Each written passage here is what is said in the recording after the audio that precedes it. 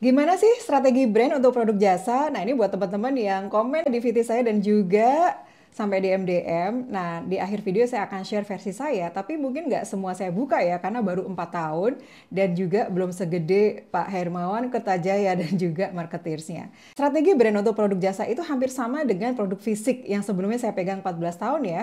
Jadi yang pertama itu brand positioning. Ini berlaku untuk jenis jasa apa pun ya, misalnya branding agency, digital agency, psikolog, klinik, arsitek, dan seterusnya. Yang kedua adalah konsistensi. Jadi gimana kita menunaikan positioning yang sudah kita tetapkan sampai benar-benar dapat klien dan benar-benar audiens itu memiliki persepsi yang kita inginkan. Jadi kalau butuh ini, mereka akan cari kita gitu. Brand positioning yang tepat dan konsisten itu nggak akan bikin teman-teman jor-joran ngiklan ya. Saya pun juga belum pernah ngiklan untuk e-course ataupun workshop, training untuk perusahaan saya. Bukan karena nggak butuh, tapi karena so far masih happy dan jumlah SDM yang masih terbatas. Yang ketiga, productized service. Jadi walaupun teman-teman punya keahlian A to Z ya, tapi nggak semua dibutuhkan oleh audiens atau klien kita kan. Jadi perlu dipilih dan di productize gitu, dibikin semacam produk.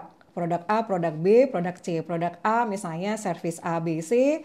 Produk B, B, C, D, dan seterusnya. Berikutnya adalah passion. Karena bisnis jasa itu adalah sifatnya konsultatif, kalau teman-teman tuh nggak ada passion, agak berat ya jalaninnya. Pesan saya, jangan bikin bisnis lain baru atau brand baru sebagai house of brand kalau brand yang pertama ini belum autopilot lah istilahnya. Lalu kecepatan pertumbuhan perusahaan itu sebenarnya personal choice banget ya. Ada yang pengen tetap kecil aja, yang penting tuh profitnya itu terus nambah.